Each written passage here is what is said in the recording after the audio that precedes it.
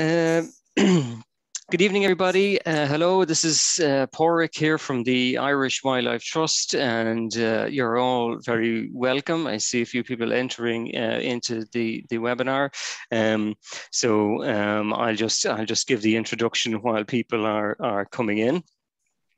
Uh, we're holding this webinar from uh, Glasgow in Scotland, where no doubt you're aware that the Conference of the Parties, this 26th Conference of the Parties, the COP as it's called, uh, is underway uh, across the River Clyde here in the uh, in the event centre and has been going on since Monday.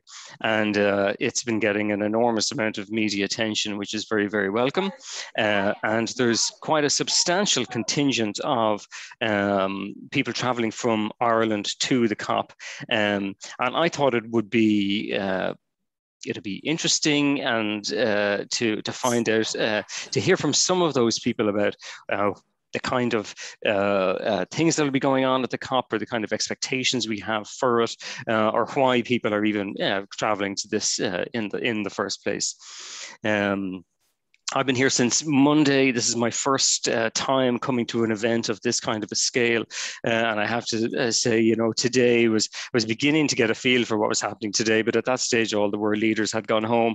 Uh, but it's going to go on for another two weeks, um, and uh, and and I'm and I'm still trying to navigate my way through the scale of it. There's absolutely thousands of people here.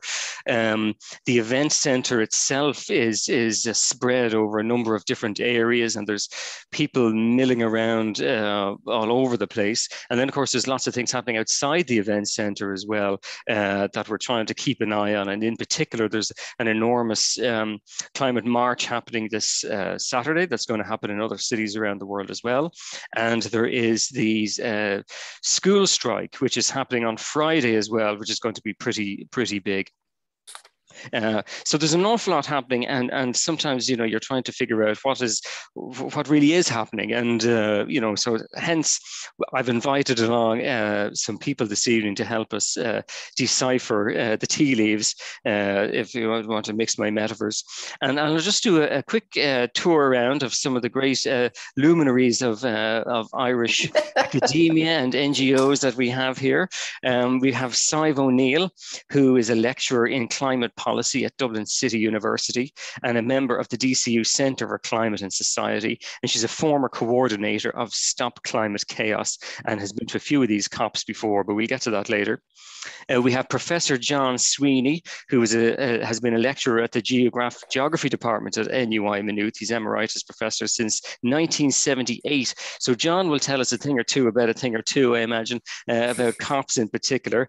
Um, he's been a contributing author uh, to the Intergovernmental, Intergovernmental Panel on Climate Change reports, and he's a member of An Climate Change Committee. Uh, we have Siobhan Curran. Hi, Siobhan. Thanks for coming in. You're, you're definitely in Glasgow. I can see the, the glowing globe behind your head.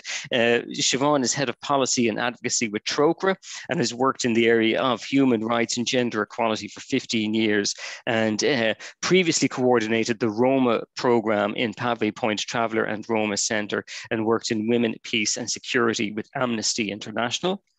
Uh, and we have uh, Tad Kirakovsky, uh, who is from Voice uh, Ireland.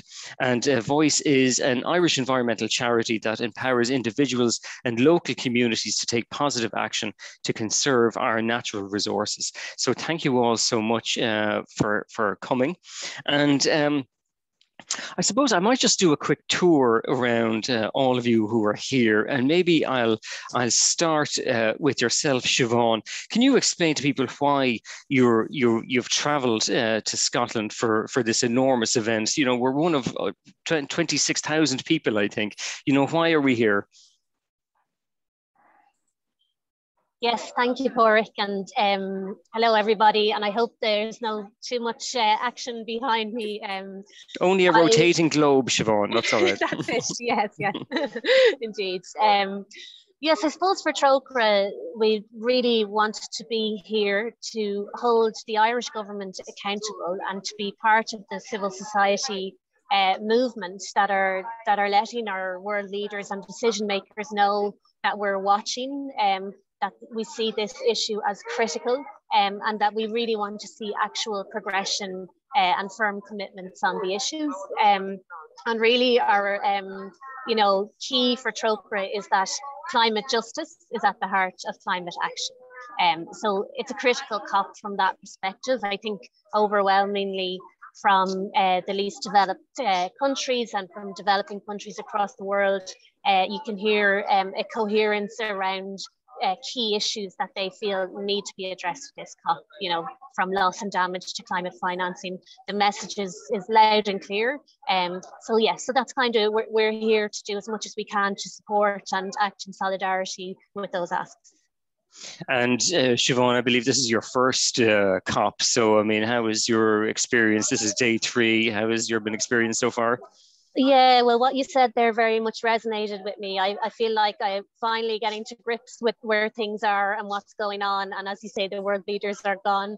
Um, I I found, I mean, I'd love to hear what other panelists think. Um, because this is my, my first COP and I've been at other treaty negotiations um, uh, namely the, the UN Treaty to Regulate Transnational Corporations, which has been negotiated in the UN in Geneva.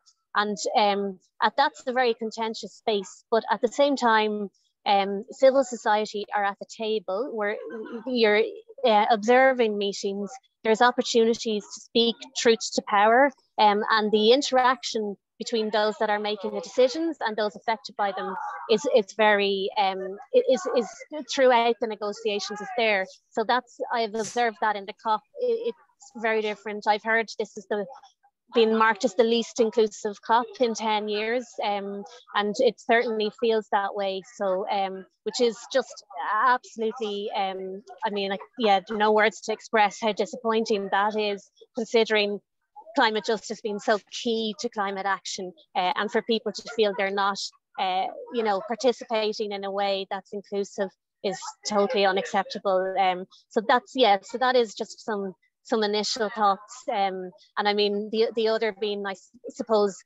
uh, listening to the, the leaders' statements, trying to um, I think the key thing will be, you know, what does this mean in practice and what are the actual commitments that are being made? Because uh, I think I was at the CAN press briefing earlier and they were saying, you know, lip service uh, will, will not get us anywhere. So I suppose, yeah, the real, the devil will be in the detail and that, that would be key to, to, to establish over the next two weeks. Yeah, yeah, very good, and and certainly raised a few points there that I might come back to later.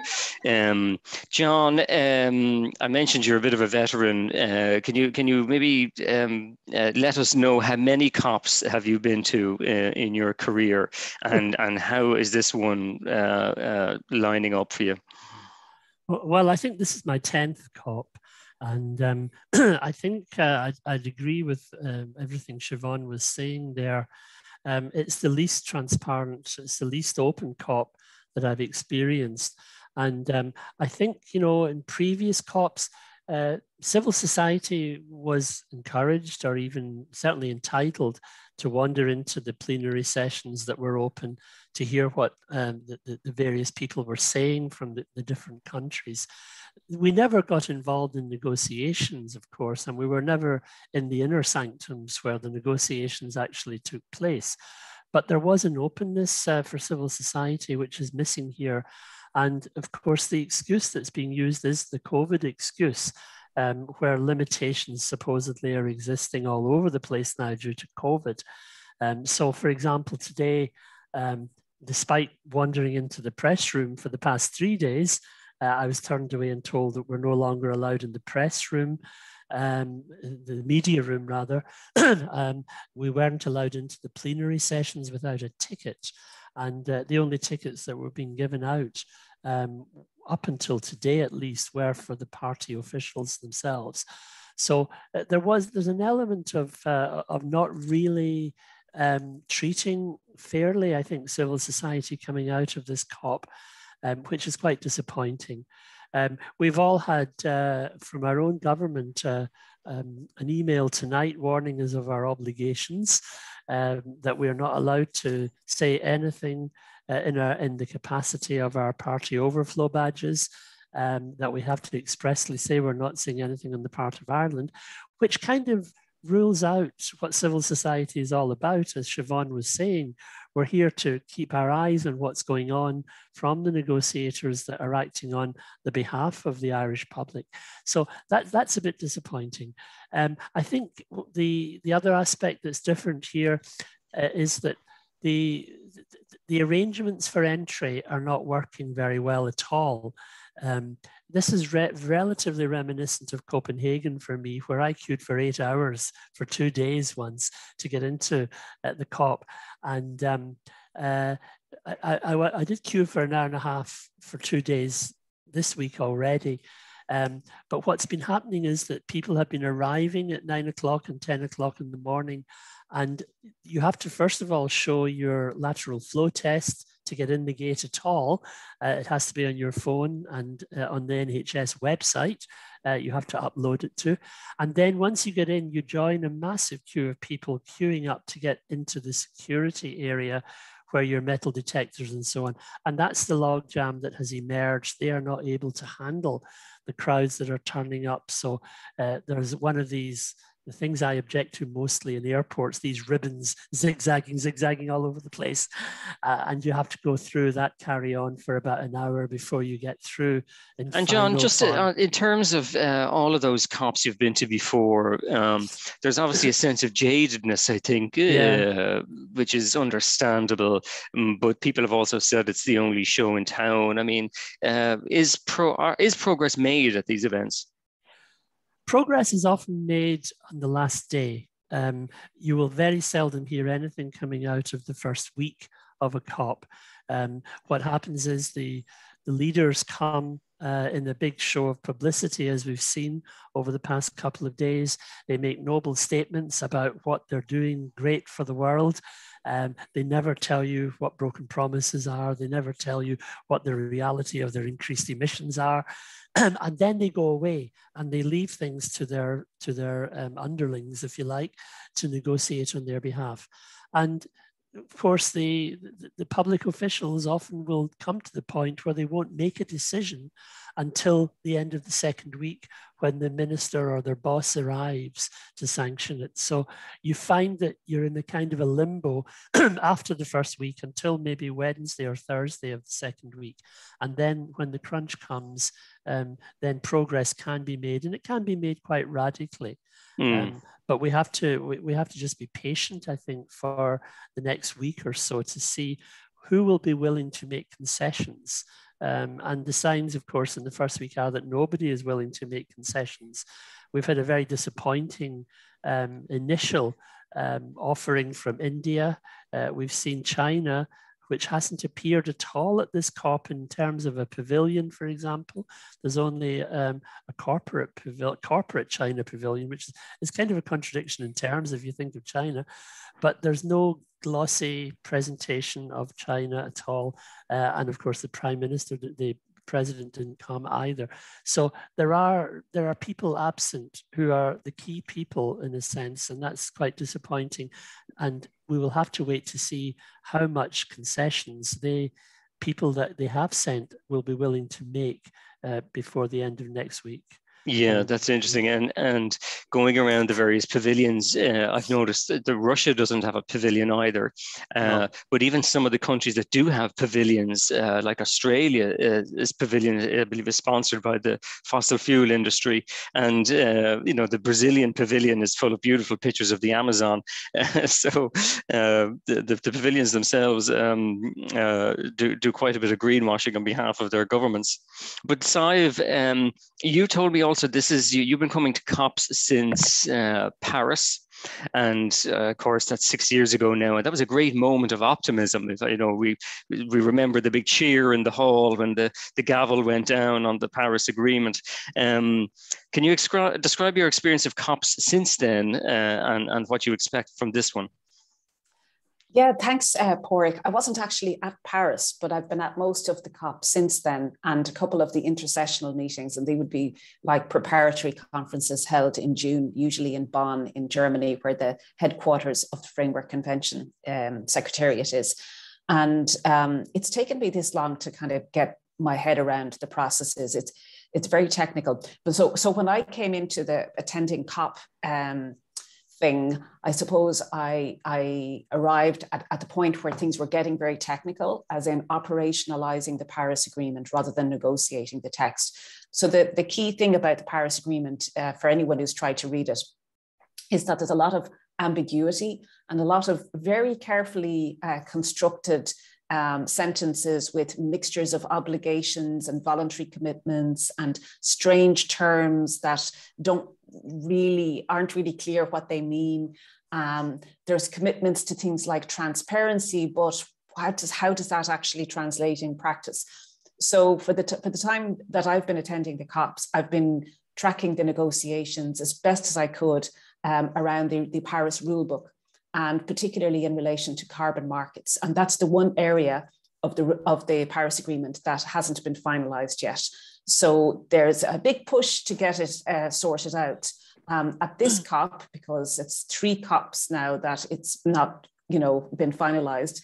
But I can tell you, cut cut to the chase, that reading the opening statements of the subsidiary body that is looking into this, um, that the speeches and the comments and contributions of most of the key parties here are pretty much exactly the same as last year and the year before.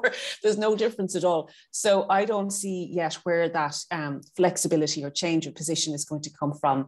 And, and it's a particularly important area because uh, for developing countries, they see it as an opportunity to unlock more climate finance.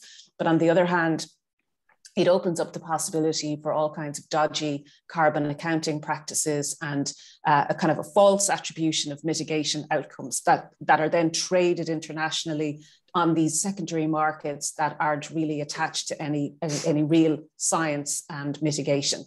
I think we're all pretty clear at this stage what needs to be done. I mean, net zero is a pretty tough call.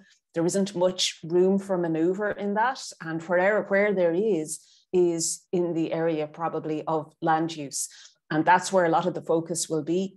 But also, we still have, and this is the thing, the process is very slow. So we're still dealing with some of the overhang from the Kyoto Protocol and the transfer of some of the credits from the Kyoto Protocol as clean development mechanism are still kind of floating around, not worth an awful lot, but they have the potential to undermine any new mechanism that might be uh, agreed upon um, under, under Article 6. So there's a lot at stake to Article 6. It's, it's very important. On the one hand, we need an agreement to kind of set the rules because in the absence of rules, you have a kind of voluntary market that is being run essentially by private actors. And, um, and, and, and that are not under the supervision of, of the parties uh, or the COP. But at the same time. so, time, sorry to cut across you because mm. this is what, what people probably uh, are, wondering what you're talking about, but I think what you're talking about is offsets. All of this stuff that people are, you know, the companies, you know, they see net zero and they think they can basically buy their way out of uh, out of trouble. Um, is that what we're talking about? Yeah. Well, actually, Article Six is more than just about offsetting. It does create, um, it does establish a mechanism for offsetting, and that could include states offsetting uh, emissions against their NDCs, and it could also, so they could be buying or selling credits, but it also involves um, a mechanism to include private activity. Um, and it's very complex when you start including, you know, private companies' um, mitigation plans and offsetting in a national uh, report and, and you know to what extent does it change the whole picture but it's also about trading in emission reductions between countries. So if one country overachieves I'd, I'd love to see that happen but it hasn't been happening. But if one country overachieves it can theoretically sell those uh, surplus credits to another country. But unfortunately that's created a kind of perverse incentive for some countries to set very low baselines and to uh, sort of make promises that they know they can overachieve in, in, order to generate these surplus credits. So you can see that we're, we're kind of right back where we were with the Kyoto Protocol, and the, the mechanism under Article 6 will probably be slightly better, but it still um, has the potential to do some damage, if not more damage. I, th- I think what I've seen, just to add to it a little, um, you know, we in Ireland um, fulfilled our Kyoto obligation because the economy crashed. Um, and that was the only reason we actually met our obligation over the 2008 to 2012 period. But other countries which had large allowances and also who had economic problems, um, they had those huge allowances, which, as Cy is saying, uh, they now want to redeem uh, against their future emissions. And this, although they aren't big, they have the potential to really destabilize um, the whole uh, move towards staying within 1.5 degrees. Uh, countries like Australia are in the vanguard, and Japan, and Japan in this case as well. And these are the countries that are digging their heels in. And aside was saying there, you know, when I went to Paris, you could tell from day one that countries were there to do business. It was the first COP where we had a bottom up approach and countries were willing to make pledges. Um, I haven't detected that at all um, in Glasgow so far. Um, as Cy is saying, countries are, are, you know, they're really just digging their heels in as to where they were before we started off.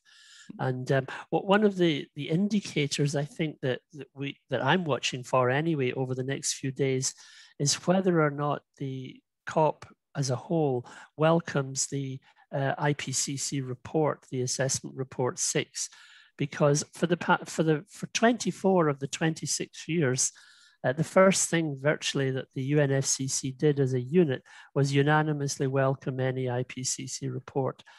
But um, in Katowice, uh, four countries, Russia, um, Kuwait, uh, Saudi Arabia, and the United States, refused to welcome the 1.5 degree report, which actually they themselves had been part of commissioning at Paris, uh, and therefore it was only noted.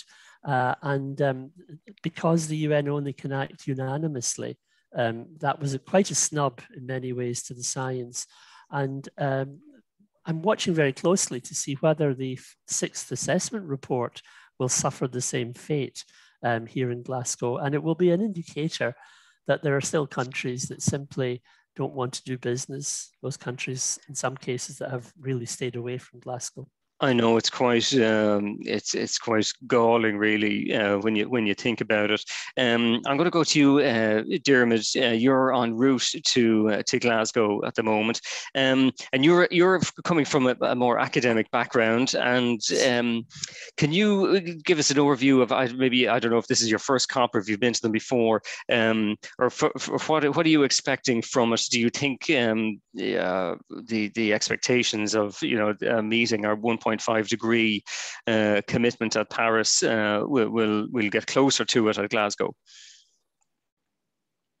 You're on mute there, Dermot.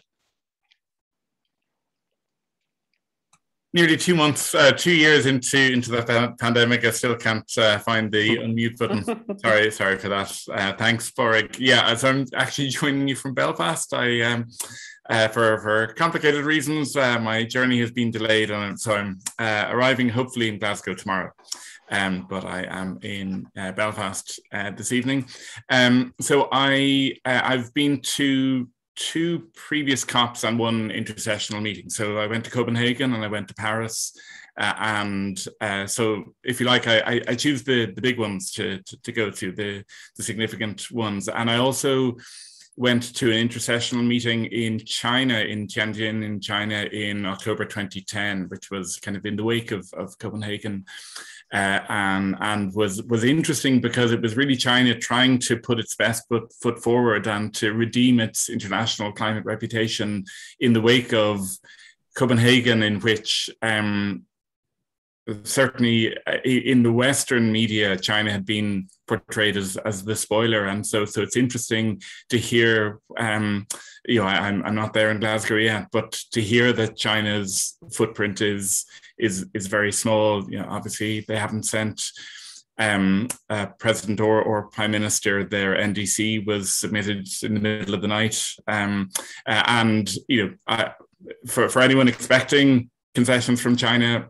I, I don't see any. I, you know, I think China has set its full and final position for um, for Glasgow on the, on the table. I, I think it would be extremely unlikely for China to, to make any significant con- concessions because that's not how the Chinese decision making system works. They, you know, they they agree their position in advance. This was the misunderstanding of China in advance of Copenhagen that there would be room for a maneuver over the two weeks of, of COP15, and, and it didn't come to pass. And I, I think the same is likely to be uh, the, the, the case um, in in in Glasgow, you know, which is problematic for for the overall uh, outcome um, uh, because of the the share of of global emissions that uh, that China um, that that, uh, China is accountable for.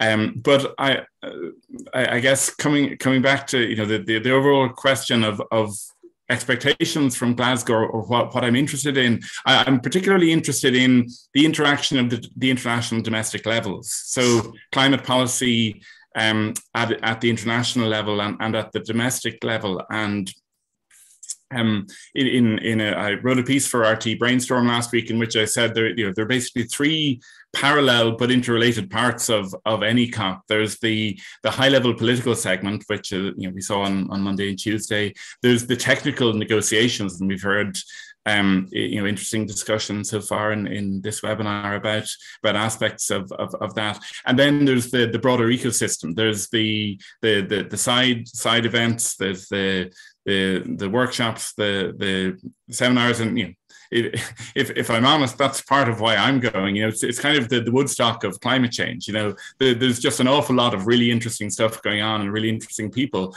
So that's part of my reason for, for, for going. But also in that wider ecosystem is the mobilization. It's it's the activism. It's the the protests, and it's it's civil society holding governments to, to account, as, as Siobhan said said earlier. Um, but that happens not only uh, at the COP. It happens. Um, you know, it, it, it, it, you know, the, the, the, the climate march is going to be happening, I, I think, in different cities around, around Ireland and different places in, in, in the world. So I'm, I'm particularly interested in how the, um, how, what go, go, goes on in, in a COP interacts with um, wider political systems. And, and, you're looking at it from that perspective, I, I, think you begin to think about success or failure in, in slightly different terms. So, you know, it, it may be that the, the negotiations on Article 6, as I was saying, you know, remain stalled and, and there isn't a breakthrough. But even, you know, and I've seen a lot of commentary on, on Twitter about this in the last few days, the, the step up in an Irish context in terms of media coverage of, of climate change, you know, I, I don't think we would be seeing that absent from, from COP26. So, so, so I guess I, I think about um, the impact of COP26 in a slightly different way, um, you know, which which isn't to sugarcoat the fact that we're still way off track, um, you know, in terms of of limiting warming to 1.5 degrees. But but you know, I I think something like this. Uh, something like a COP does play an important role um, in um, kind of spreading the the the message much further and, and much wider. And you know, if we think about COP26 in in comparison to um, uh, COP15, Tara Shine was on Morning Ireland on on Monday, I think it was. You know, talking about the, the her her reflections on participating in in Copenhagen, uh, where you know her family and friends you know didn't really know what she was going off to, to do versus now um you know ev- everyone is at least aware of, of, of cop26 so i think there's you know the, the, there's progress in those terms yeah, it's true. And and you wrote a very interesting piece for the Irish Times a couple of uh, days ago about this, uh, the framing of this meeting as a kind of a now or never moment, as if you know, if if we don't come up with the goods next week, that you know, what what we just stop dealing with climate change, which isn't really uh, the case, is it?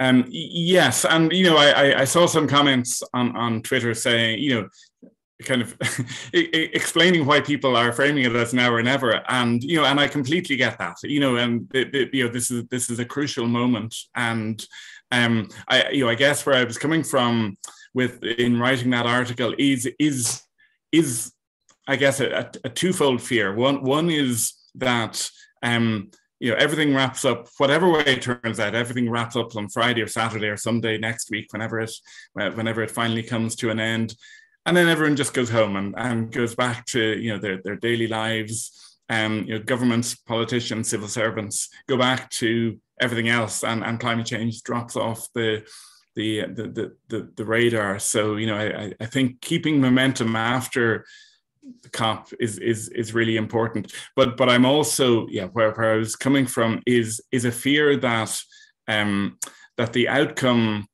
uh, of COP demoralizes um, people. You know, we, we set it up to fail. Essentially, if we say this is our last chance, you know, I, I've a I've a book at home called published in 2006 called Global Warning: The Last Chance for Change. Change, and um, you know, it's it's it, it feels like we're perennially stuck in the last chance saloon. Um, and, and, I and I, I just worry about um the the the unintended consequences that might flow from from setting this up as our last chance and then we fail. So I yeah, yeah, yeah, absolutely. We're all in this for the long haul, I think. Um, Tad, uh, you're very welcome. And uh, Tad, do you want to tell us a little bit about Voice Ireland, what you do? And I know you're not yourself traveling to Glasgow, but some of your colleagues are. And um, as a small NGO, you know, I kind of feel that we in the Irish Wildlife Trust should be in the same category. You know, what, what can a tiny organization like ours do in such an enormous event? And what, what are your expectations from COP and, and, and uh, how does your particular work area fit into what's being discussed? Yeah, well, first of all, thanks very much for having me here this evening. And uh, as you kind of said, two of our two of my colleagues, Lindsay and Abby, are on their way over there now, and so aren't able to make it on here. And I suppose, as a bit of background voice of Irish Concern for the Environment, we very much define ourselves around the 12th SDG, sustainable consumption and production. And I think that kind, you know, that kind of focuses a lot of where we work. So it's a lot around waste and the circular economy in that area. And a lot of our work then is on, say, a community level. We work with communities and groups across Ireland. And so, as has been kind of mentioned by Siobhan and Diarmuid and pretty much everybody already, the importance of civil society being at events like COP to hold hold governments to account both there and to show that show that we are there and that we are we find this important, but also afterwards to hold hold them to what they're saying there and to hold them and show that this is there is a continuing interest at a grass at a grassroots level as well. I think that's kind of those are the kind of the key reasons why we're there. But I suppose um, as well, we kind of we work within say the waste kind of area. We are kind of typically viewed around kind of recycling and waste, but we very much define ourselves around the waste hierarchy. And the top of the waste hierarchy is prevention. And we've seen a lot like um, while waste and waste management only accounts for maybe three percent of carbon emissions, material material production and kind of the production of the things that we use accounts for about 55 to 65%. And that kind of ties back into uh, the circular economy and circular economy approaches. And so we kind of find that kind of a really important area to be there and to be there to be represented there and to kind of make those links between things like climate change and say the circular economy and how we use materials. And I suppose then the kind of the third kind of aspect of it is that um, the, the COP, it's a global, it's a global event and increasingly production and production use and waste are becoming global uh, global chains and to make sure that there is the connection between the the items that are being made in one part of the world are being used for five minutes in a town in West Cork and they are being found then on in another area of the world altogether. And so like to, to make that link that these things are global chains and you know that we're kind of you're not acting in isolation in any of these things and this is the kind of the importance of making sure that the items that you use, particularly packaging and things like that, are designed to be reusable where at all possible. Yeah, it's interesting. The, the the plastics industry really is a is a it is a subset of the fossil fuel industry, which isn't really appreciated yeah. a lot of the time. Um, I, was going to say, I think on. that's kind of a really important part of say the discussions at the moment, particularly when we're talking about decarbonizing the energy and or the energy sector. We've seen, say, the plastics industry or the kind of petrochemicals industries have really ramped up and have ramped up their forecast for plastics production. And so then we have to kind of then look at that in terms of how we're using materials then and you know by kind of taking those those gases away from that are we just shifting it and going to start kind of pumping out these other materials and are those materials being used appropriately are we managing them appropriately? Are we making sure that they are um, they are recyclable when we say they're recyclable? Can they be better used? Can we prevent that waste being used and created in the first place? Yeah, it's it's all it's all part of uh, of of the cycle, isn't it? Um, just to to everybody viewing in, just to let you know, uh, we we hope to have time for some questions at the end. So do please use the Q and A button if you want to type in your question, and if it's for anyone in particular, just just uh, say that uh, at the beginning. Uh, Siobhan, I want to uh, just go back to you, uh, please, because you mentioned um, a couple of things really to do with um, with the issues people are facing. And, and maybe you could talk to us a little bit about the, the mood within uh, the, the global south. Um, uh, maybe the, you know, the, the president of Barbados gave quite a moving speech to the opening plenary, really, you know, lambasting the rich countries for their broken promises. Um, and so there's this issue of money, but there's also this issue of access. Uh, if you want to talk to us a little bit about the issues, the, the big, the macro and the micro issues, maybe maybe that developing uh, countries are facing?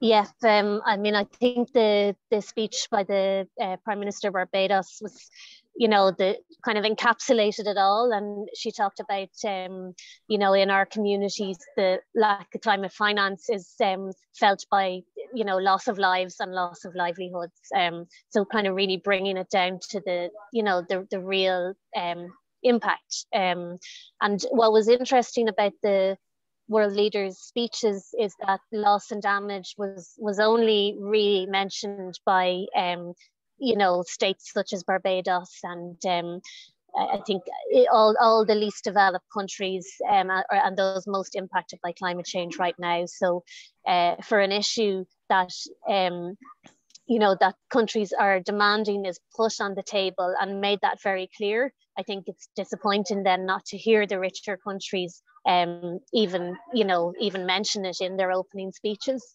Um, and uh, i mean the, the two issues that Trócaire, apart from the overall issue of ambition, um, the kind of two key areas we wanted to focus on at this COP were uh, climate financing, um, and then as part of that, uh, the need for loss and damage to be kind of a permanent agenda item at COP and for a commitment to this a separate stream of finance uh, for loss and damage.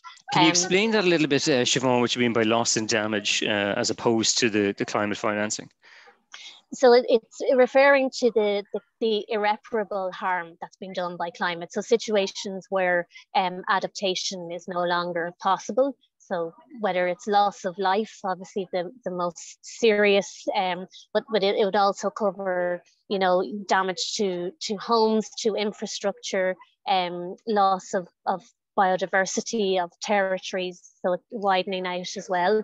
Um, and um, I suppose, yeah, the, the, the real sticking point, it seems, and I think others might know even more about this, um, is, is actually um, allocating or committing to a separate stream of finance for this. So it's um, important because of the finance, but also symbolically, um, and to, to, to kind of separate it out.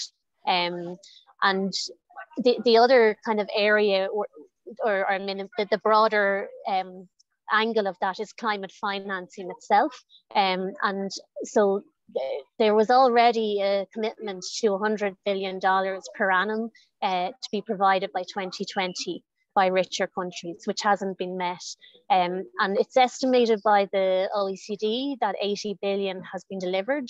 Um, civil society organizations would say less. Oxfam have done research on this, um, and they're they're saying it's uh, difficult to, to quantify exact figures, but they're they're going a lot lower. I mean, at one estimation from 20 billion, um, and the issue is around um, what's been allocated as climate finance. But I think everybody agrees that there's a shortfall, um, and um, so I think out of this COP, two things that we're looking for. One is that there's um, a commitment to deliver on the shortfall, so that that that gap is bridged but also then that climate finance itself is um, the, the, commitments are increased in line with the actual need. So I think a strong message from developing countries is this is nowhere where it needs to be. Um, and the, the UNEP in 2016 had estimated that it should be $300 billion. Um, uh, so tripling of the, the current commitment. And um, CAN uh, Climate Action Network, who are you know extremely active here and vocal, have said you know um, it, it will it will end up being much higher than that, uh, into the trillions. So I suppose um, a real this is a COP that that we would hope that there's a grappling with the scale of the need um, and that an understanding as um, you know the prime minister of barbados was saying that this need is right now and promises for 20 years down the line don't help the person right now. Um, and you know at, at, it was interesting to hear oxfam speaking at this at a press conference earlier uh, where they were saying if you lose your home right now because of climate impact the system doesn't support you. There's no help you know? So um you know talking about a 2050 target just seems too far off. And it's not to say we, we need those targets but an understanding of um, the impact of climate change right now as well is needed um, and, and maybe the, the other issue is around um, quality finance and what it's directed towards. So, um, you know, there has been an overwhelming direction of climate finance to mitigation and approximately 20% towards adaptation. Um, and the, the, the importance of this is that people need um, finance to be delivered in a way that helps them cope with the impacts right now. And that's what adaptation uh, finance should be directed towards. Um, and you know, one I mean, certainly from Trócaire's perspective, we, we really believe that it's important that climate finance is overwhelmingly focused towards adaptation, or certainly, um, I mean, some some of the advocacy is around at least 50% um, of financing towards adaptation. Um, that it's um, but it, that it's reaching the people on the ground who need it most. You know, the smallholder farmers, the fisher folk, um, indigenous communities. Um, and one channel for that is the Green Climate Fund, um, which has been really undercapitalised. And it's something that Ireland, um, as John has mentioned quite a lot, has given very little money to, only um, 2 million uh, in 2019. And uh, you know, this the expectation is that the Green Climate Fund should deliver quality finance And there are issues around how accessible that is and that needs to be improved. But I suppose the, the point being the financing needs to go into uh, sustainable uh, projects that, um, you know, so for example, uh, sustainable agriculture through agroecological projects that are also transformative. Um, so yeah, so I think more money needed uh, higher collective targets post 2025 and then quality and make sure it's reaching the people who need it most.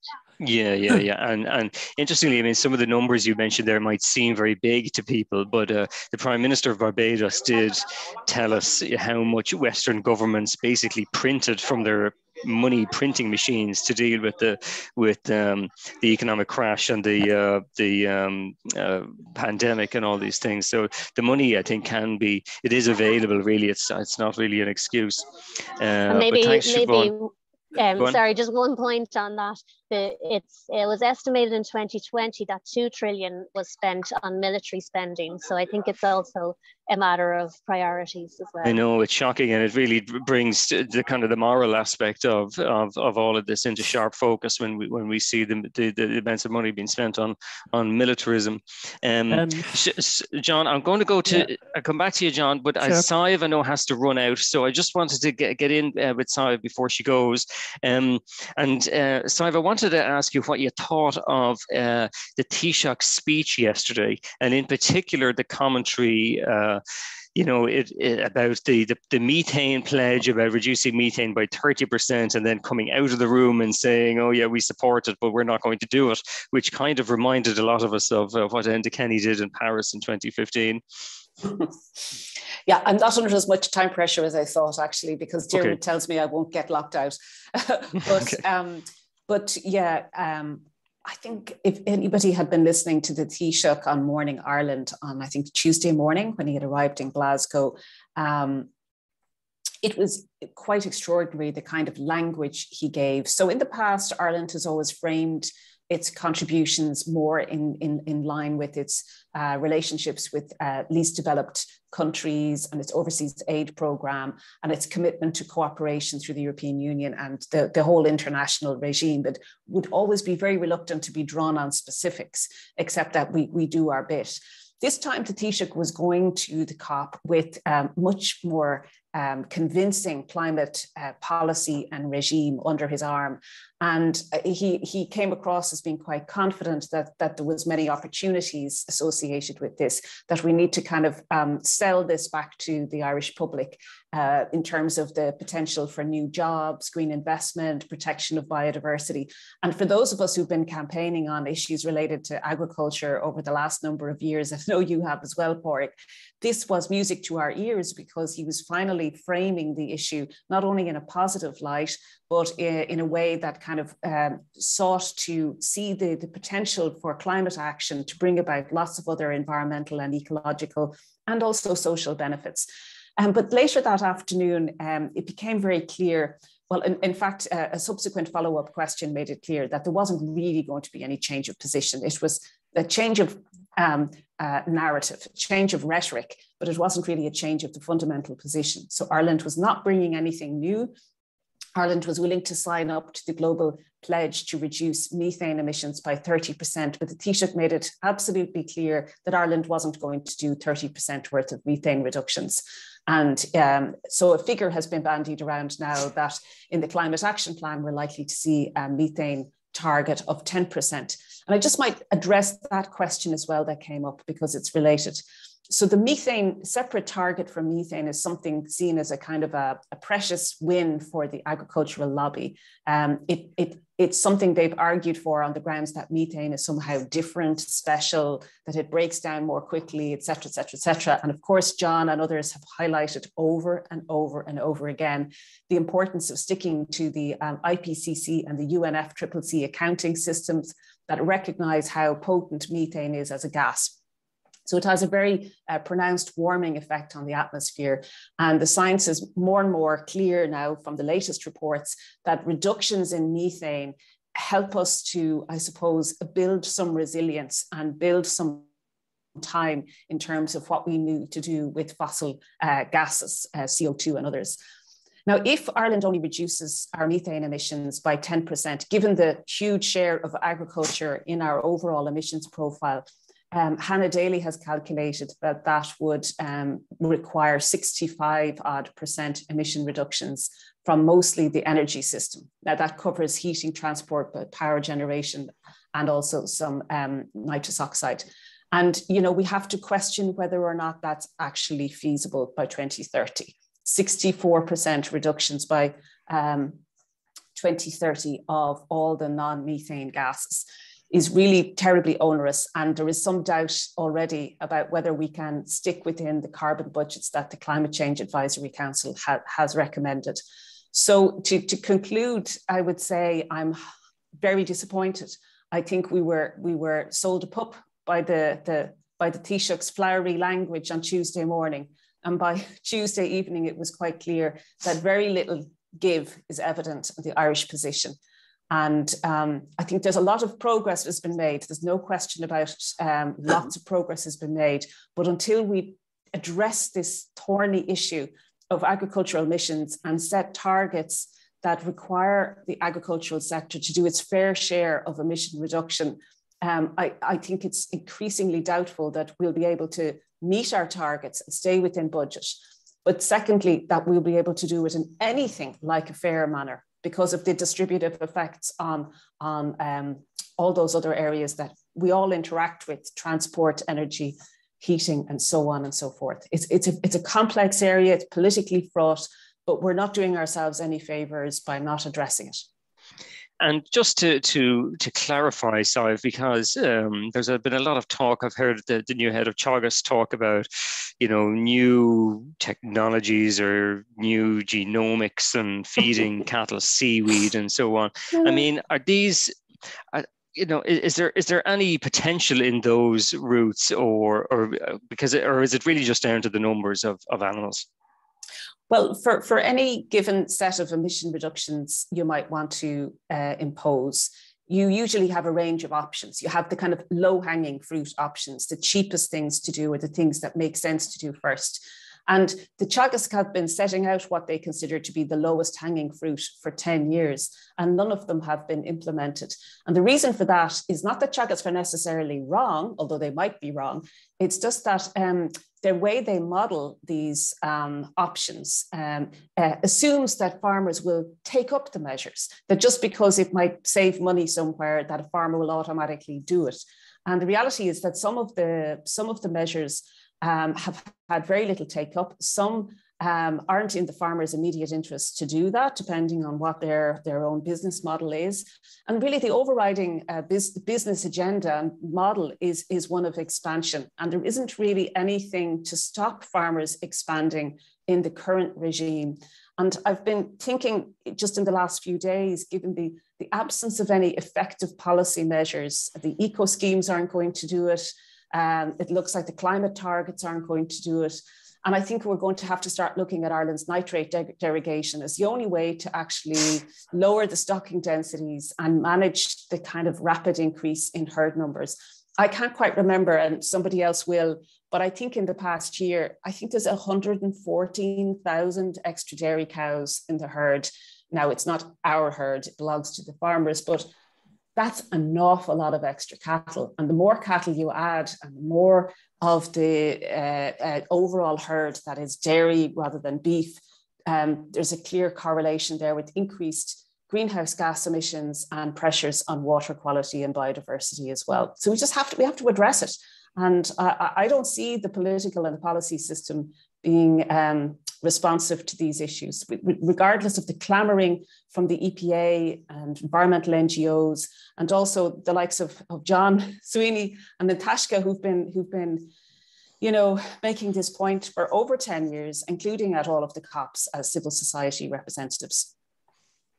Yeah, John, uh, do you want to uh, come in there and talk a little bit about the agriculture side of things? Well, I, I don't think I could, could put it better than Sadhbh has just put it. I mean, she expresses it beautifully. And really, the conclusion I've come to is a great deal of sympathy for our farmers because they are being used as pawns um, by large agro food industries primarily. Um, and farmers have been so badly led in the past 10 years. They've been led into a cul-de-sac. They've been, to me, they're rather like lemmings at the moment. They're gradually being led over a cliff. And that cliff has been obvious for the past five to 10 years. And I think, you know, that there is no easy solution to this. Um, that there, things are coming down the line legally um, for agriculture, which will be the ultimate thing which can effect change quicker than all of the pressure groups and all of the lobby groups um, over time can. Um, the nitrate derogation is a totem. I would love to see uh, an attempt made to try and question whether that should be renewed or not. But you know, eh, when you talk to Teagasc, when you talk to uh, agriculturalists, oh, there's no question of us not getting a renewal of the nitrates derogation. Um, the problem with intensification is not simply the fact that we have more cows, but it's also the fact that we're putting more in the way of inputs into those cows from heavily fertilizing this, um, this alien species called perennial ryegrass all the time. And uh, therefore, methane output per cow has gone up substantially, They're up by about 10 or 20% um, over the past 20 years. So, you know, the consequences are, we won't even go into what it's doing to river water quality, what it's doing to lake quality, what it's doing to ammonia emissions. All of these things um, have been known and are known about. Um, and I think what, you know, the discussion that we've seen this week kind of exemplifies the fact that there is an agenda internationally uh, and there is an agenda domestically, and the two do not interact. Um, the, the, domestic agenda is set by the pressure groups.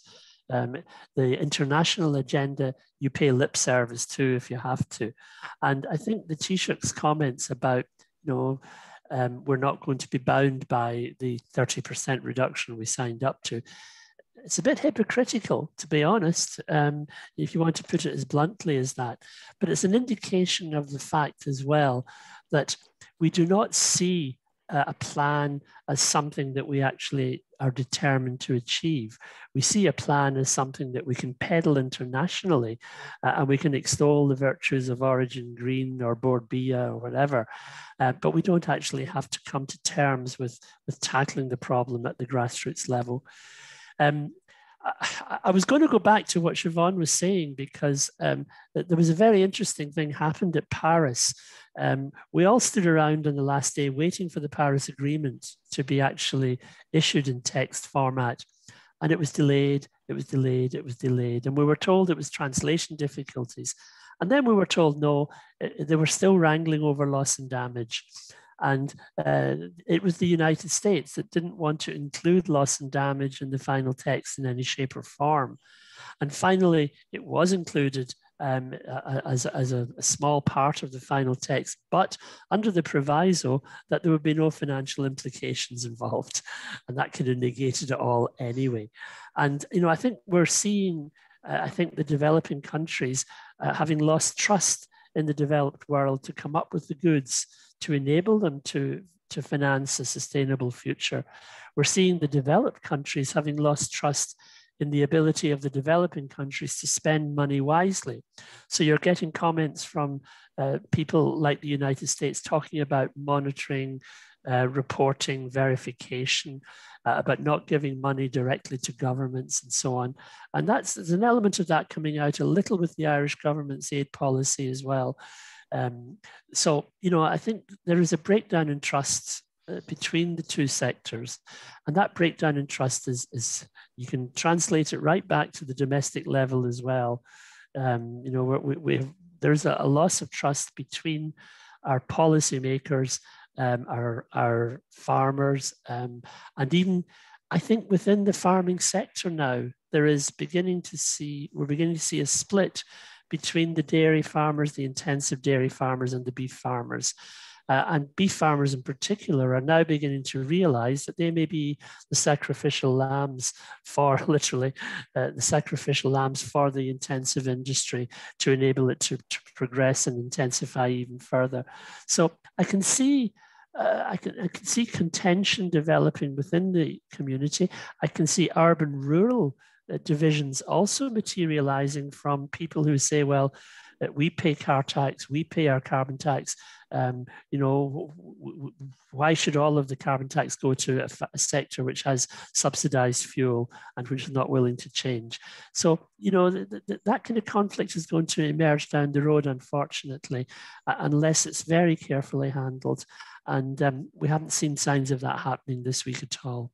Indeed, um, and just there was a, there was a comment there in the chat about the uh, the farmers uh, who are rising to the to the climate and biodiversity challenge, and and uh, the, the comment asked could we give them a mention, and and I think that is appropriate.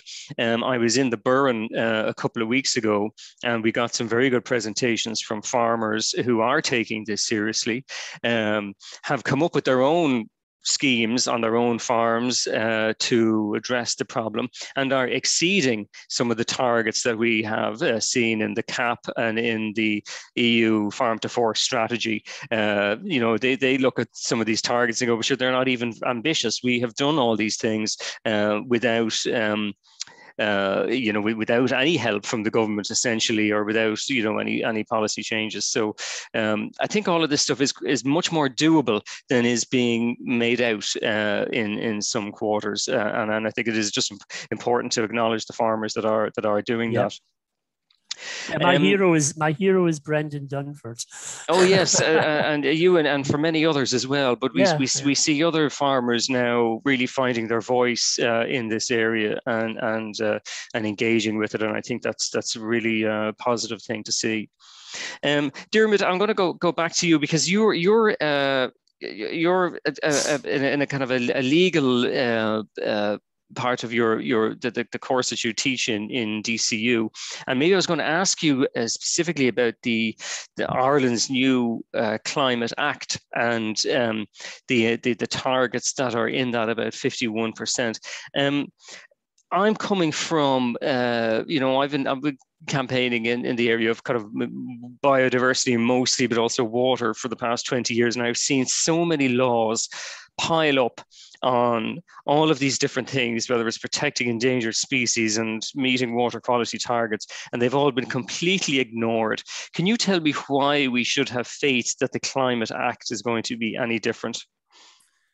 Um, I'm not sure, Pádraic, I'm going to be able to provide quite the reassurance that you're uh, you're, you're, hoping for, um, because I, have you know I've made this point before in respect of the of the climate law. Governments governments break the law all the time, not just the Irish government. Governments around the world um, break break the law um, uh, in in various respects. Um, so so really, what the what the climate law does is um, it, it, know, it, it sets in place uh, a process for for laying down carbon budgets um, and you know, technically the 51% by 2030 target. It's it's not quite enshrined in law because it's only the, the, the requirement is only that the advisory council has to recommend a carbon budget consistent with, with that.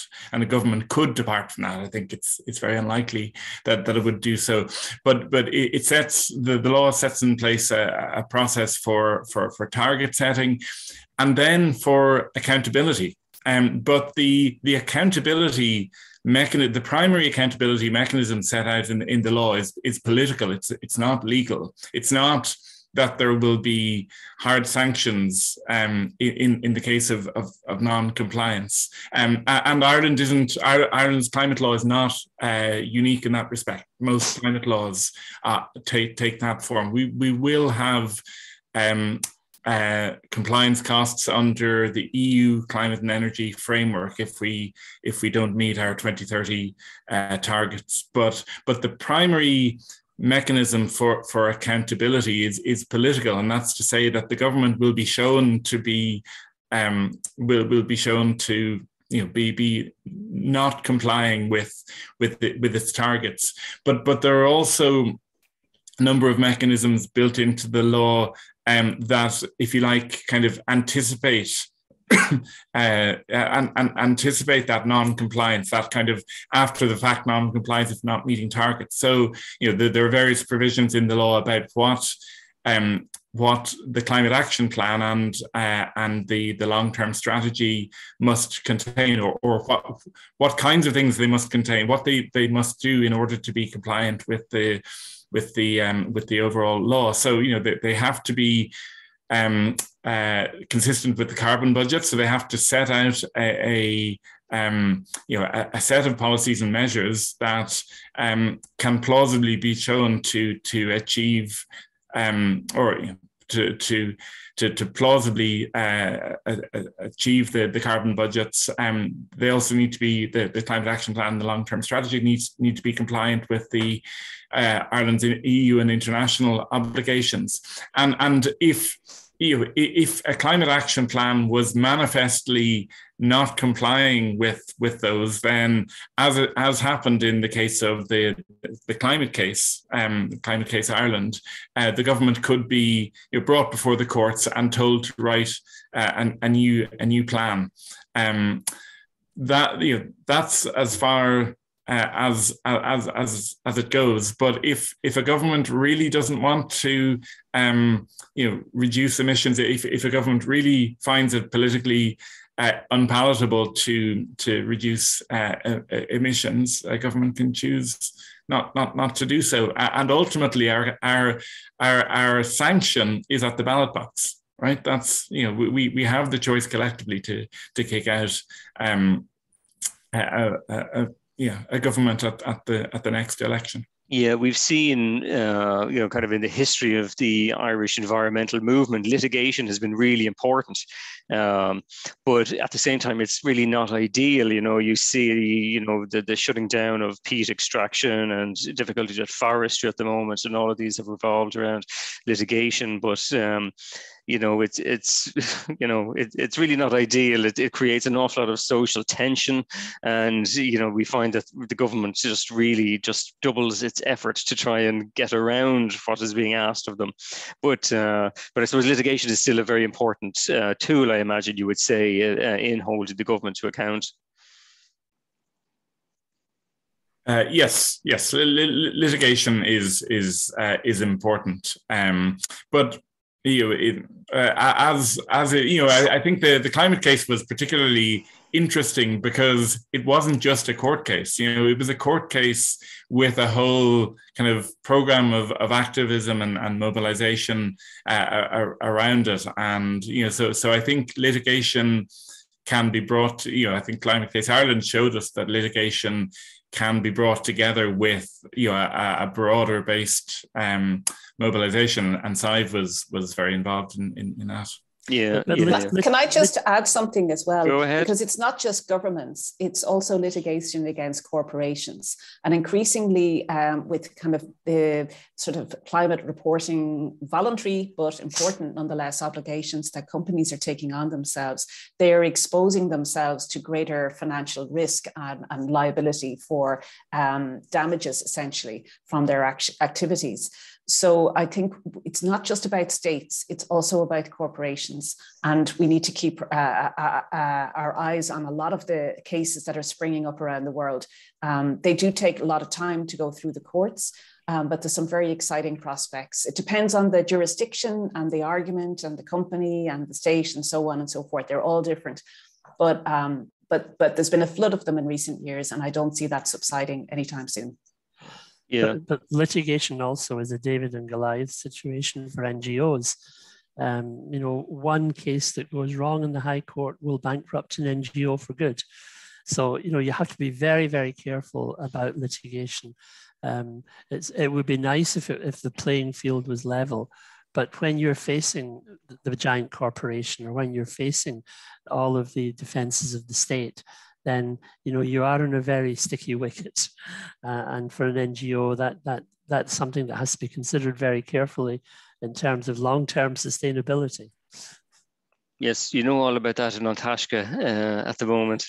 Um, thanks for that, John. And Tad, I'm going to go to you, please. Um, one of the things that uh, has struck me so far as I have walked around the various pavilions uh, here is that the the, I, the, the problem of consumption just doesn't mm. feature you know the the the the, the idea that we have to reduce our consumption is is not featuring at any of the talks that I that I have seen, and it just seems to be bizarre because uh, evidently a lot of our, our, problems are coming back to just uh, the, the rate of consumption waste that we're, we're producing.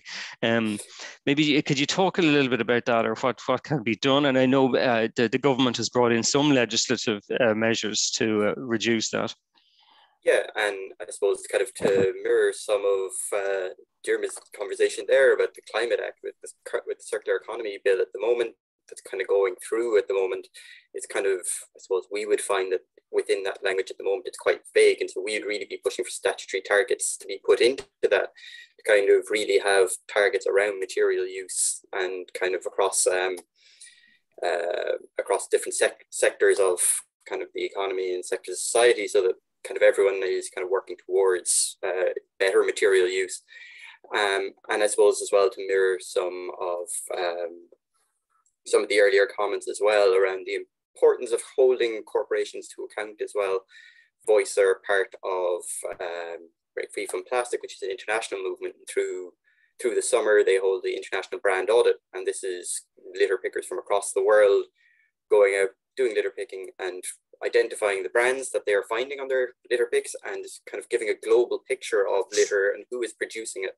And it's the same companies consistently coming up in these in these uh, global brand audits, but they also giving very different messages in different markets depending on um, depending on the mores of the particular uh, jurisdictions that they're in. So you know where we might hear a lot of good talk about recyclability in say in Europe, the same company in the US or in Southeast Asia might be pushing a very different agenda, it might be kind of pursuing a very different idea in that context. In that context. And I think it's really important that where we see these corporations putting up these big kind of, you know, talks of you know recyclability and kind of these things that we kind of we do kind of hold them to account as well and kind of pull that pull those threads together that way as well how do you uh, how do we how do we sell the message to people that maybe we need to not buy all the stuff in the shop and you know if you just scale back? Is that is that possible? Or or will that have to happen through um, price rises uh, for certain um, com- uh, well, commodities? I think like i suppose our experience would be primarily within the irish context at least. And i suppose one of the big things is supporting alternative ways you know we would have a phrase internally about uh, buy the product not the packaging. And that's you know so that's kind of supporting reuse and uh, reuse systems. And there's an awful lot of issues around those within certainly within the irish kind of system at the moment particularly around kind of liability and um, Uh, health and safety issues around reuse and kind of clear, clarifying those would, be, would make huge steps for we have an example of a company in Meath, I think it is, that's trying to sell kind of or trying to sell milk in bottles that you can reuse and they've been kind of effectively told that no, you can't do that within Ireland at the moment. And so, you know, that's kind of quite a simple, they're actively told, no, go back to single-use plastic bottles. So just on, just to take that one very small example, that's a very quick switch for consumers. It's functionally no difference for a consumer, but it makes a massive difference in terms of the material that we're putting out onto the market. So I think there needs to be a lot more um, kind of cross talk across areas, both like within government and with with industry as well and with industry bodies and advisory bodies. I think there's a lot of that that can happen that doesn't massively affect the consumer. Ultimately, it will change roughly how we how we buy a product, but it doesn't necessarily change make things more expensive or less expensive in that context. Yeah, and I suppose what you're saying is that there's there's a lot that could be done to make it easier on uh, oh, sure. on, on Joe Soap going into the supermarket. Yeah, oh, yeah. Sure, yeah. Um, so look, like, and there are there are initiatives kind of both in Ireland and internationally that are showing these these contexts and these approaches can be can be well can be kind of designed and used. We've seen it in Ireland with the Conscious Cup campaign, kind of making huge impacts in terms of the just just one one item of reusable cups. Um, we've kind of there's kind of a few other programs around the place. There's repaint is kind of one you reusing paint. There's kind of lots of different programs that are kind of coming out now that show alternative ways of using material. And I think we just kind of need to really support those yeah, yeah, absolutely. Yeah. So th- thanks for that, Ted. So look, uh, thanks very much for everybody. I, we have a couple of questions. So if you're willing to stay on for a few minutes, I know some of you may have to head off, uh, but uh, if you're willing to stay on for another 10 minutes or so, uh, maybe I could throw out a few questions uh, at, at, uh, at people. Um, or if any of you have any burning points that you'd, you'd like to add. Um, Liam asked, and maybe this is a question for, I don't, I don't know, I'll let anybody answer it who wants to answer it, but uh, um, could somebody comment on the issue of airline and shipping emissions? Uh, and this is military related emissions. And I think this is this is from Liam, and it's I think it's because these these emissions are not counted. Uh, is that correct? Uh, could you, yeah. could you could somebody clarify that? Yeah, it's a little known fact that uh, none of the reporting mechanisms under the UNFCCC don't uh, they don't include military emissions. Um, now, it's not a big contributor for the likes of Ireland, but it will be for other countries. Uh, they may partly be be uh, counted in terms of consumption of oil, but I, I have a feeling they're not, um, and that they're left out which is something to think about. It truly is. And I mean, is that going to change? I mean, is are those kind of things under discussion uh, at COP? No, I, I think uh, they, they don't come up because no country is willing to give away its secrets in this area. They're not willing to say how much oil or gas they consume uh, for their military purposes. But say for for for shipping and, and aviation. Well, shipping and aviation are very different. I mean, the International um, Maritime Organization and the International Aviation Organization have both stalled badly for the past 10 years on actually coming to grips with any kind of uh, uh, contribution to the Paris Agreement. Um, we, have got promises out of them that they're going to be um, more carbon efficient. But in terms of actual reductions, both of them have been really quite disappointing. Um, the problem, of course, is that the those emissions occur in international waters or international airspace. So, which country do you attribute them to has always been the difficulty. The European Union have made strong efforts to include aviation emissions in, uh, in, in aircraft flying from Europe, as far as I'm aware. But it's a very small part of the overall global story. I mean, Europe now contributes something like 7% of total global emissions. And that's something that at COP you really begin to get conscious of. We are very small in the bigger picture. And uh, within that, therefore, the contribution that we make, even if we manage to get aviation and shipping emissions counted more rigorously, as long as the big boys don't play um, part in that, then you know it's not going to make a big indentation in the problem overall. I guess there there is a kind of an issue of social justice here um, about you know the uh, you know farmers will say you know they're they're being asked to change their entire livelihoods while people are taking shopping weekends to to New York, uh, and even anybody who who who has travelled to Scotland uh, by surface transport will know that it's not only longer, it's a lot more expensive than than flying, which really seems insane. But uh, Diarmuid, sorry, you have your hand up there. Do you want to come in? Yeah, I was just going to come come in on this and, and maybe just follow up to what John was saying. So I, I don't know the, the history in detail, but yes, I, I think as John explained, the kind of the, the, the rationale for how avi- international and avi- aviation and shipping emissions are counted is that our emissions accounting is on a production basis per, per country. And so international aviation and shipping are genuinely quite tricky to fit into that accounting system that, that counts emissions because you know you for, for each flight or um uh you know or, or um uh, shipping journey you, you you would need to figure out what proportion of, of the total to to allocate to, to different countries so so the, the there is um, you know, so I, I, think that's the the explanation for why they're they're excluded, uh, and and the the arrangement. I, I, think it goes back as far as the United Nations Framework Convention on Climate Change in 1992, which was was to say that. Um, the international, the intergovernmental forums for aviation and shipping are the appropriate forums to deal with these issues. The problem with that is that those are industry-driven I mean that they are, you know, formally intergovernmental negotiations in, in that countries are recommend are represented by by their, their national governments. But it's, you know, I, I think it's a pretty severe case of industry capture. Uh, yeah, industry capture of, of government, you know, around the world that the, the government negotiators. So, so firstly, the the, the industries are, are very closely tied into the negotiations, but also it's the the transport ministries. Uh, I, I, think generally are the ones representing um, the, the, the the the national their national positions, and, and they are you know very much in captured by by the relevant in, industries. Indeed, but what about um, putting a carbon tax on aviation fuel? Is that something that would uh, be of any value?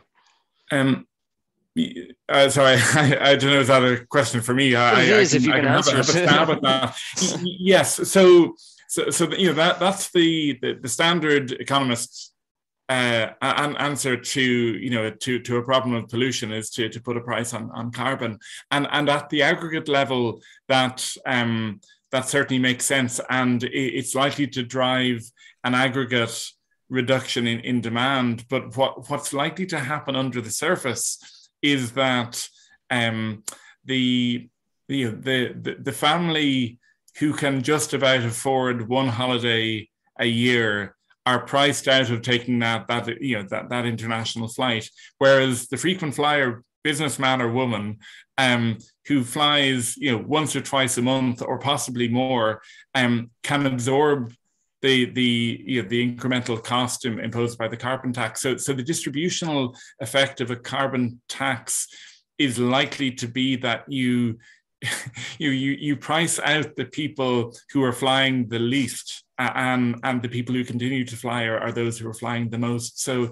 it, it it's it's tricky you know and and an alternative approach would be to have a you know a, a, a kind of an elevator tax you know a, a, tax that increases the more times you, you fly or simply to have a rationing system. But you know our our our, our our policy making systems aren't well set up to, to, to you know and our administrative systems aren't well set up to to implement those those kinds of measures Mm, indeed.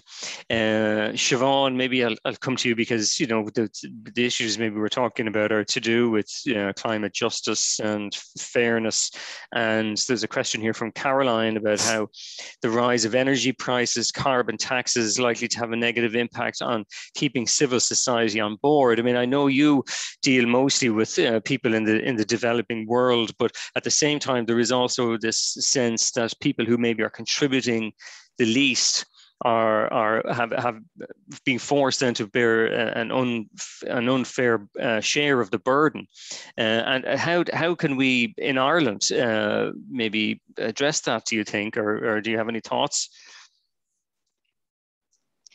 Yeah, I mean, I think. Um, yeah, although we, we focus more globally and thinking about as as was speaking about earlier, the people who are experiencing the worst impacts of climate change right now in, in developing countries. But I, I mean, I think the same principles that we're advocating for globally need to be applied nationally as well. And so that's human rights, um, equity, fairness, uh, and so I think these are these are crucial. And um, maybe you know if if in in terms of you know addressing the challenge um, people need to feel that there's fairness underpinning it and human rights are, are really key um, and maybe like diverging a bit from from Ireland. I mean I thought it was really interesting yesterday here Global Witness had um, a display and they had a list of all the names of environmental um, and land defenders who have been murdered in the last year.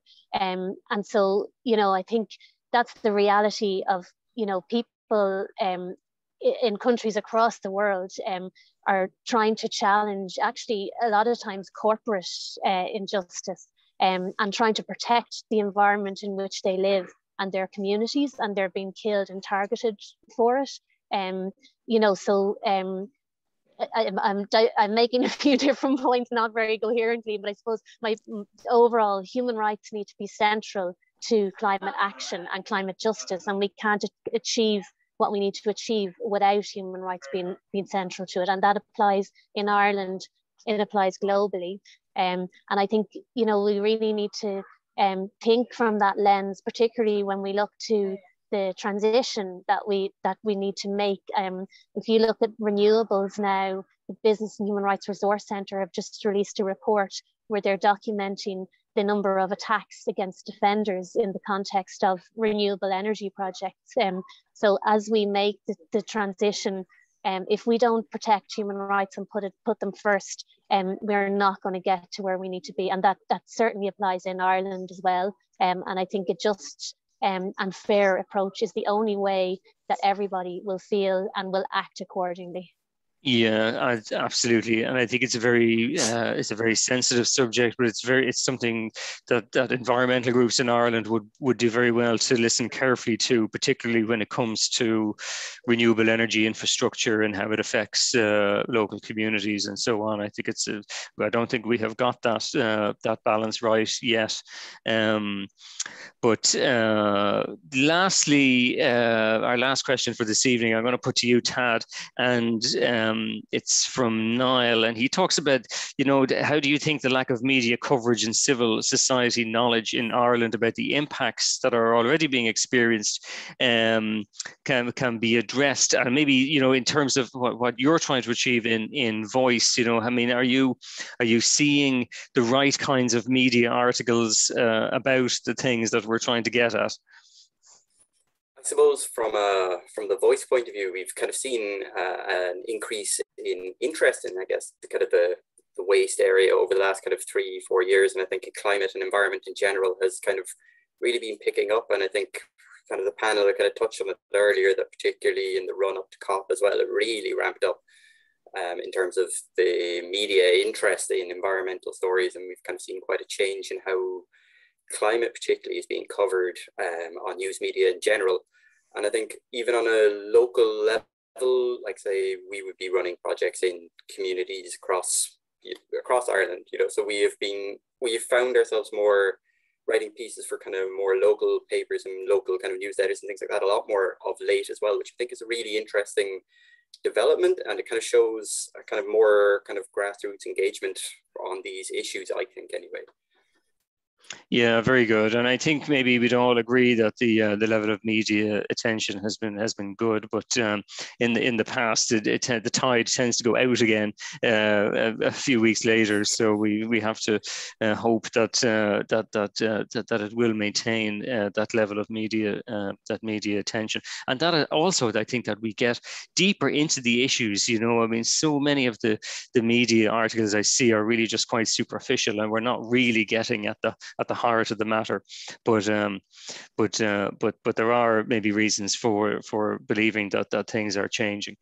Um, and with that, maybe I will just uh, draw the evening to a close, and uh, and I want to thank you all, uh, Tad and Diarmuid, Siobhan, and and John and and Sadhbh, who's left us, um, not only for attending uh, our webinar, but also for coming to Glasgow and uh, bringing your expertise and your energy uh, to to the to the event. Um, I think it's so much uh, it's it's so it's so important um, that you know people do not feel a sense of despair uh, amid all the awful headlines uh, and, and disempowerment. And uh, and I think the the number of, of, NGOs and activists and academics who are coming here to Scotland, not only from Ireland but around the world uh, really gives us some cause for uh, for dare I say it hope. Um, but of course, hope hope is really important. And thank you all uh, to those of you at home who uh, who have tuned in, and I hope uh, you continue to tune in to, to the other events uh, uh, throughout COP uh, this week and, and next week. this event has been recorded, so it will be on our website in a couple of days if you want to share it with, with other people or watch back again. And lastly, as I always say, you know, if you like what we do here in the Irish Wildlife Trust, please do subscribe and become a member and help us uh, in our work. We're trying to fly the flag for biodiversity. We didn't talk very much about biodiversity this evening, but uh, but anybody who's been following me on Twitter is probably sick of me going on about biodiversity. So maybe that was a, a welcome break for you all. Okay, so thanks once again, everybody, and good night from Glasgow. Good night, all. Thank you.